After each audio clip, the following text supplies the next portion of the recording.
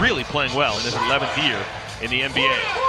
For the Hornets, Harrison and Williams up front. Spencer Hawes starts for a second consecutive day. Jeremy Lin once again replacing Nick Batum and Kemba Walker. And Porzingis has a lot to do with that. I mean, no matter what you'd heard about his skill set and his capabilities, you never expect a rookie to have that significant of an impact that quickly. With those five players, just a little over 50 points and 30 rebounds. Jeremy Lin, that'll get the team going. Works 14 points. And he checked it last night. Chris Paul got in a little, say, scuffle. He got tangled up. Frank Kaminsky into the game. First sub off the bench for the Hornets. Lin got it to go! Right to Porzingis. Check his nose. It seems like every time he gets hit, the nose starts bleeding, and he continues to drive it to the teeth of the defense. Look at that. Crossed over, splits the double team, and flips it up and over the top of the seven foot three rookie. And takes the hit. Jeremy Lin probably has no idea, but his life changed dramatically on this day four years ago.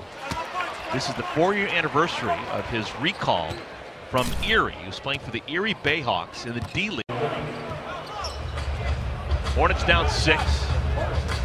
They won't get into panic mode until they're down at least 19 in the second half. That's what they overcame yesterday.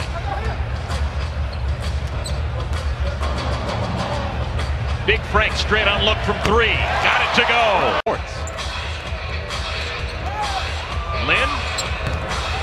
Looked off the pass, threw it up and in. Jeremy's got a team high seven points. He checks in, top of the key, dials it up.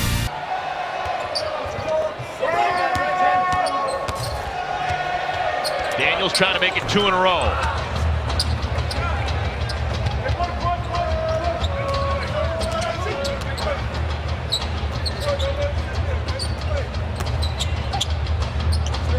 Plenty time on the shot clock. Kaminsky score the goal. Offensively. Why is P.J. Hairston continually ahead of Daniels on the chart? Bucket up and in for Brian. Roberts, Hairston, Lin, Kaminsky, Hansbrough. The five on the floor for Charlotte. The Knicks are switching defensively, so Porzingis is now on P.J. Hairston. And Porzingis running out.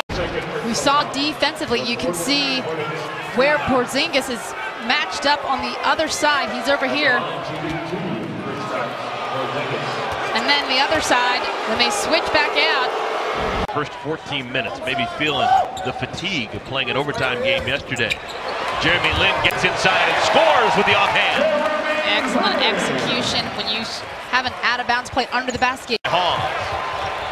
Sixth rebound in the first half for Spencer. And Jeremy Lin draws the foul. Did he get hit in the face again? It looks like it.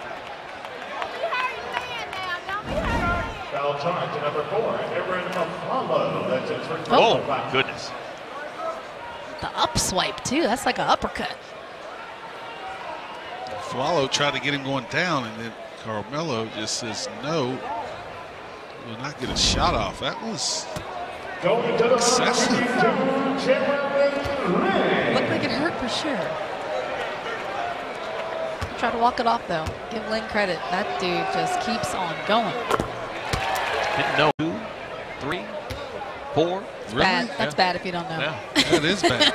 that one was broken five times. Ooh. Good grief. Of all the guys they broke. Forced. No. That'll be travel. Fourth time here in the first half that the Knicks have traveled.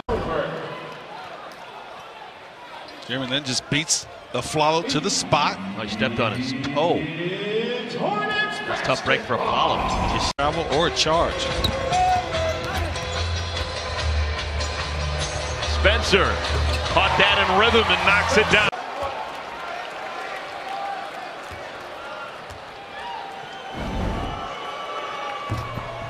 Jeremy Lin catches.